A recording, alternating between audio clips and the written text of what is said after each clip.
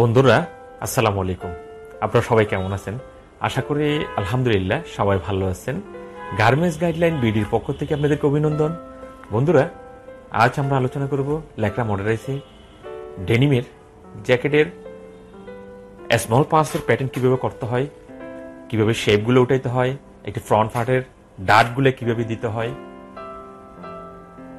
বোন পকেটের পজিশনগুলো কীভাবে করতে হয় পকেট প্লাপের পজিশনগুলো কীভাবে করতে হয় প্যাটার্নগুলো কীভাবে উঠাইতে হয়, বিস্তারিত বিষয় নিয়ে আলোচনা করব।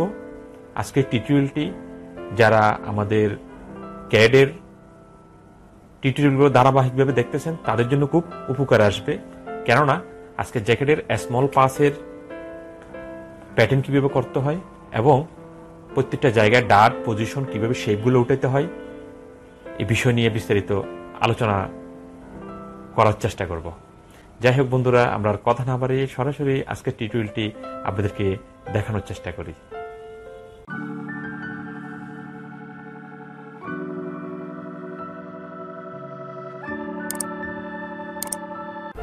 গত পর্বে আমরা যতটুকু বানিয়েছিলাম সেটা, আর আমাদের মেজারমেন্ট শিট হচ্ছে এটা। এটা হচ্ছে আমাদের মেজারমেন্ট শিট। তো এই মেজারমেন্ট শিট অনুযায়ী এর যে ছোট ছোট পার্টস খন্ড খন্ড পার্টসের কিছু মেজারমেন্ট দেওয়া আছে, সেটা কীভাবে করতে হয়, সেটা নিয়ে এখন ডিটেলস আপনাদের দেখানোর চেষ্টা করতেছি। এখন হচ্ছে, এখানে হচ্ছে, এটা হচ্ছে স্লিপ আমি যদি আর একটু জুম করি, এখানে স্লিপ এই জায়গাটাতে ফাড়া থাকে একটা কাফের কিছু অংশ, সেটার নাম হচ্ছে স্লিট আমরা এই স্লিটটা যদি এখানে বাইরের মেজারমেন্ট দেখি, দেখেন এখানে আমি আর একটু জুম করে যদি আপনাদের দেখাই, এখানে দেখতে পাচ্ছেন একটা মেজারমেন্ট এখানে দেওয়া রয়েছে, নয় সিএম তো এই নয় সিএম আমরা কীভাবে ওই জায়গাটাতে নিব সেটা আপনাদের দেখাই। এই যে এখান থেকে নয় সিএম দূরে আমি একটা দাগ দিয়ে যদি নেই এইটা পুরো দাগটা একটু আমি ফিক্সড করে দিতে চাচ্ছি। এই এখান থেকে এই পর্যন্ত আমাদের ইনসার্ট পয়েন্ট করা একটা দাগ নেওয়া আছে নয় সিএম। তো এই নয় সিএম দাগ নেওয়ার পরে আমি লেফট সাইড রাইট সাইডের দিকে আরও এক সিএম করে কাপড় বেশি নিব। দেখেন এখানে এক সিএম দিলাম। আবার এইদিকে দিলাম হচ্ছে এক সিএম তো এখানে আমি ইচ্ছা করলে এই কাজটা করতে পারতাম, এইভাবে সোজা করে আমি এখানে একটা মার্ক দিয়ে দিতে পারতাম। সেটা না করে আপনারা যেটা করবেন সেটা হচ্ছে এই পয়েন্ট থেকে আরও দুই থেকে আড়াই সিএম করে একটা দাগ দিয়ে যাতে আমরা সহজে ওভারলক অথবা এটা ভেঙে নিতে পারি, আমাদের জন্য কাজ করতে সুবিধা হয়, সেইভাবে আমরা এখানে একটা মার্ক, আরেকটা মার্ক আমি দিলাম। আর এটারে যাতে ওভারলক করতে গেলে কোনো প্রবলেম না হয়, সেভাবে আমি একটু স্মুথলি করে দিচ্ছি। এই হচ্ছে আমাদের এটা, আর এই পয়েন্টটা, উপরের যে পয়েন্টটা রয়েছে, এটা ইনসাইড পয়েন্ট করে দিব। আর আমরা স্লিটের এই জায়গাটা, আমাদের লাস্ট যে পর্যন্ত, ওই পর্যন্ত আমি কাট মার্ক দিয়ে দিব। এই যে দেখতে পাচ্ছেন কাট মার্ক দিয়ে দিলাম। এখন যেটা করব, এই যে নিচের অংশটাতে যদি জোড়া না লেগে থাকে, আমি এটারে আবার একটু বর্ধিত করে নিয়ে আমি এটাতে লক করে দিব। দেখেন, এই যে এই ইনসার্ট পয়েন্ট দিয়ে ইনসার্ট পয়েন্ট দিয়ে আমি ডেভেলপ পয়েন্টারে লক করে দিলাম এটার সাথে, যাতে আমি পরবর্তীতে কাজ করতে গেলে সিম করতে গেলে যাতে প্রবলেম করতে না হয়। এখন এটা, আর এই হচ্ছে আমাদের স্লিপের কাজ মোটামুটি। দেখেন স্লিপ তৈরি করে ফেলছি। এখন যেটা করব, সেটা হচ্ছে ব্যাক পার্টের এই যে অংশটা, একটা প্যানেল দেওয়া রয়েছে।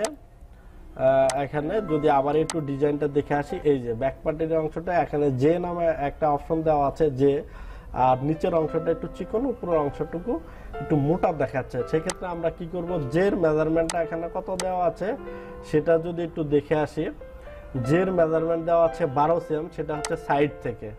আর তাহলে আমরা বারো সিএম সাইড থেকে এখান থেকে নেই।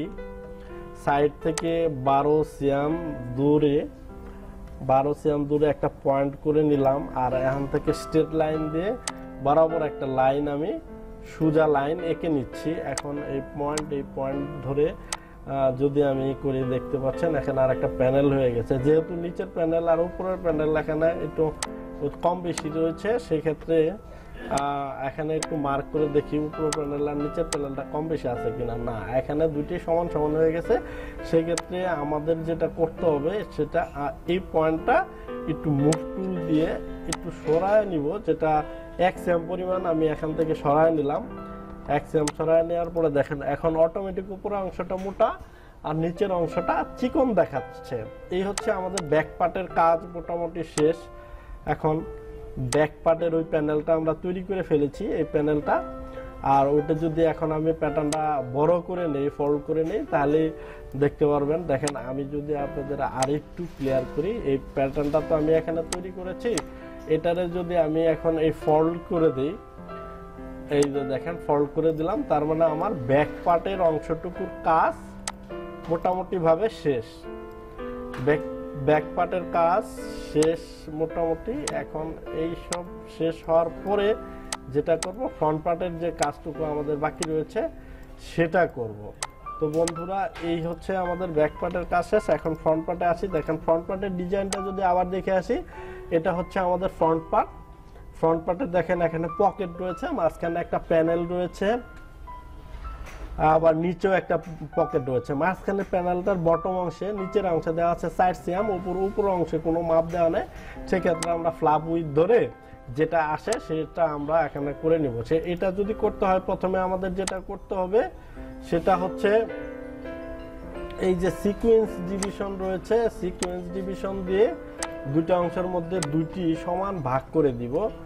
ভাগ করে দিয়ে আমি এখান থেকে পর্যন্ত একটা স্ট্রেট লাইন টেনে নিলাম। স্ট্রেট লাইন টানার পরে এখন যেটা করতে হবে, আমার বটমের যে মাপটা দেওয়া রয়েছে, এখান থেকে চার সিএম, এখান থেকে আমি দুই সিএম দূরে একটা মার্ক করে নিলাম। আর এই পেনাল্টি থেকেও আমি মাঝখানে পেনাল্টি থেকে দুই সিএম দূরে আরেকটি মার্ক করে নিলাম। এই হচ্ছে আমাদের চার সিএম দূরে এ হচ্ছে বটম থেকে প্যানেলটা দূরে যে মার্ক। আর এখন আমি পকেট যদি করি, পকেটের মেজারমেন্ট কত দেওয়া আছে সেটা যদি আমরা দেখি এখানে আমাদের পকেট চেস্ট পকেট এই যে দেখেন চেস্ট পকেট পজিশনের নিচে আমাদের পকেট উইথের একটা মাপ দেওয়া আছে তেরো সিএম এগারো সিএম বটম উইথ আর পনেরো সিএম হচ্ছে পকেট লেন্থটা সেক্ষেত্রে এগারো সিএম যদি হয়, তাহলে অনায়াসে আমি এখান থেকে কি করব? ফাইভ সিএম দূরে মাইনাস পয়েন্ট ফাইভ যেহেতু মাইনাস ভ্যালু চাচ্ছে, আর এখান থেকেও এদিকে ফাইভ সিএম দূরে দিয়ে একটা দাগ আমি এখানে আরেকটা পয়েন্ট আমি করে নিব। এখান থেকে এদিকে সরে একটা পয়েন্ট আমি করে নিলাম। পয়েন্টটা করে নেওয়ার পরে দেখেন, এই পয়েন্টটা করার পরে আমি একটু জুম করে যদি দেখাই দেখেন আমি এই পয়েন্ট থেকে এই পয়েন্ট পর্যন্ত একটা দাগ দিয়ে নিলাম। হ্যাঁ এই পয়েন্ট থেকে পয়েন্ট পর্যন্ত যদি একটা দাগ দিয়ে নিলাম, আর এটা হচ্ছে আমার পকেটের প্যানেল পকেটের মাপ। এখন আমার এই পকেটটা দেওয়া আছে কত? পনেরো সিএম লম্বা। আমি যদি এখান থেকে পনেরো সিএম নিচে একটা মার্ক করি, এই যে দেখেন, এই পনেরো সিএম নিচে আমার এই বটমের অংশটুকুর মাপ হচ্ছে পনেরো সিএম নিচে যায়, কত দিচ্ছে বারো সিএম। সে বারো সিএম যদি আমি এখন করতে চাই, তাহলে এখান থেকে ছয় সিএম দিব মাইনাস সিক্স সিএম। এখান থেকেও আমি দিচ্ছি মাইনাস জায়গায়, এখানে প্লাস দিল তাহলে সিক্স সিএম। হ্যাঁ বারো সিএম এই বারো সিএম আমি যদি ইনসার্ট করে দেই ইনসার্ট করে বর্ধিত অংশটুকু কেটে দেই দেখতে পাচ্ছেন, কেটে দিলাম।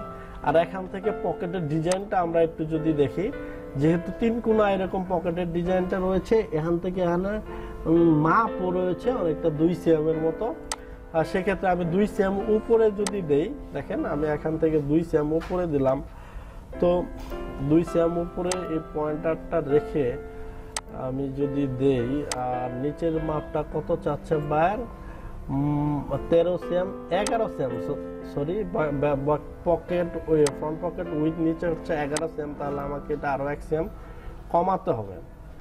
আরও এক সেম যদি কমাতে হয়, আমি প্রিন্ট করে এখান থেকে ধরে আমি কি করব? এদিকে মুভ দিয়ে, এই মুভ টুলস দিয়ে এদিকে পয়েন্ট ফাইভ নিচের অংশে জিরো আমি এই পয়েন্ট থেকে এদিকে আরও হচ্ছে পয়েন্ট ফাইভ নিচের অংশে জিরো করে দিয়ে মাঝখানে প্যানেলটার মাঝখানে এখানে একটা ইনসার্ট পয়েন্ট দিয়ে আমি স্ট্রেট লাইন দিয়ে যদি এখানে একটা টান দেই এই একটা টান দিলাম। তাহলে দেখতে পাচ্ছেন আমার হচ্ছে এই পকেটের মাঝখানের অংশ, এই এখন মাথায় যদি যায়, মাথায় গেলে আমার এখানে আরেকটু পয়েন্টার দেই। এটা হচ্ছে আমার টোটাল পকেট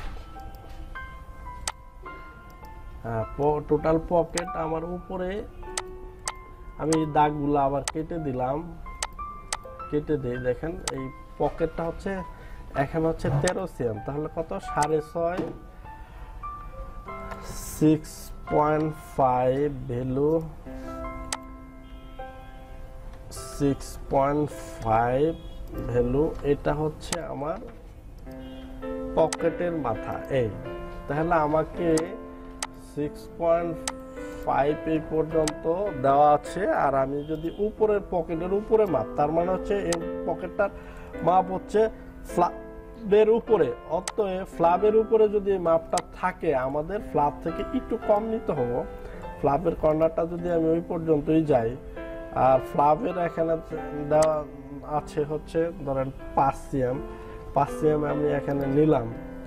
নেওয়ার পরে যেটা করব, এখান থেকে আরও তিন মিলি, এদিক থেকে তিন মিলি সরি, এখান থেকে হচ্ছে point three minus point three, এখান থেকে হচ্ছে পয়েন্ট থ্রি যদি আমি দেই, তাহলে এখান থেকে এই ফ্লাবের মাথাটুকু এটা আমি ধরে নিলাম। এখন এই যে আমি পকেটের উপরে অংশটুকু তৈরি করলাম, এই তিন মিলির ভিতরে আমার যে কাজটি করতে হবে সেটা হচ্ছে এখান থেকে যে তিন মিলি বড় করে নিয়েছে, সেই তিন মিলিটা আমি এখন কমায় দেবো। দেখেন কীভাবে কমায় দিচ্ছি। পকেট তৈরি করেছি এখান থেকে, তাহলে ফ্লাবের মাথায় যেহেতু আমার মাইনাস পয়েন্ট থ্রি, নিচের অংশ জিরো। এই পকেটের চিত্রটা কি দাঁড়ায়? দেখেন পয়েন্ট থ্রি এই। এখন আমার ফ্লাবের এখানে পাঁচ সিএম আর আমি এখানে দেড় সিএম নিচে। আরেকটা দাগ দিয়ে দেবো, যেহেতু ফ্ল্যাপটা হচ্ছে আমার কর্নারের মতো, এখান থেকে ধরে আমি এই পর্যন্ত, এখান থেকে ধরে এই পর্যন্ত যদি দাগ দিয়ে দিই, দেখেন এই যে আমার পকেটের যে অংশটা ফ্লাপ হয়ে গেল, দেখেন। এই যে আমার ফ্লাপ মোটামুটি করে ফেলছি।